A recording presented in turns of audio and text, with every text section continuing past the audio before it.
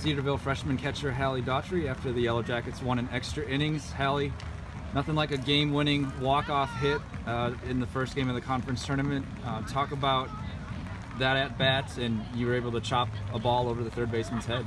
Yeah, I was just I went up to bat just thinking that I need to get the bat on the ball. I need to get this run of score, and thankfully that's what happened. Uh, Yellow Jackets, the number one seed. A lot of pressure that comes with being the favorite, but um, you know, there's a situation you guys had runners at second and third and no one out. Uh, was that a little bit of a frustrating moment for you guys? Like when we were on offense? Mm-hmm.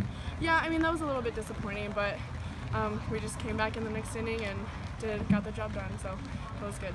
The rains came down. Um, you know, does it make it a little bit more difficult to, to field the ball, to um, to throw the ball at that point? Um, for sure, yeah. Especially for our pitchers, I think it's hard for them to get a good grip on the ball. But Morgan did a great job, so yeah, yeah. Uh, this season in general, I mean, you being a freshman, you know, talk about some of the learning curve that you've had uh, coming straight out of high school for this program. Um, yeah, it's definitely, especially for the catching position, it's definitely a lot more of a mental game than it is in high school, and I'm definitely still learning, you know, how to um, pick up the pace in that area. But yeah, that would, that would definitely be the biggest thing that I've had to learn so far is the mental game. Allie, thanks for your time. Stay dry and good luck tomorrow. Yeah, thank you.